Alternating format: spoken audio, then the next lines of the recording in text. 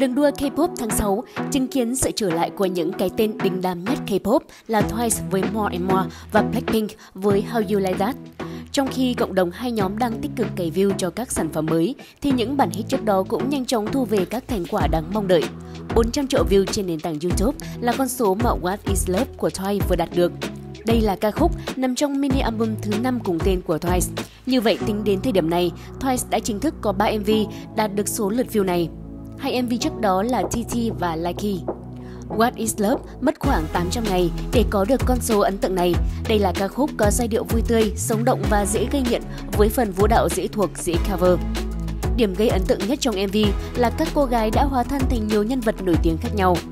Chính những yếu tố này tạo nên sức hút cho ca khúc của gà nhà JYP. What is Love cũng từng giành giải đê sang cho ca khúc của năm tại Mama 2018.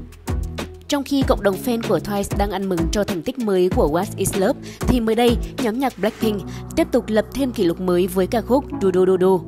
Cụ thể, vào sáng 29 tháng 6, MV Do Do Do Do đã chính thức vượt qua 1,2 tỷ lượt xem trên YouTube.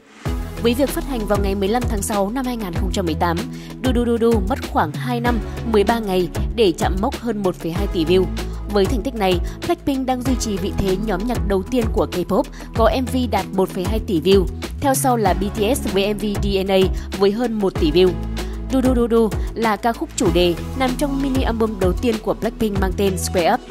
Tháng 11 năm 2019, Do Do Do Do chạm mốc 1 tỷ view. Đến tháng 3 năm 2020, MV này có thêm 100 triệu view và mất thêm 3 tháng để chạm mốc 1,2 tỷ view.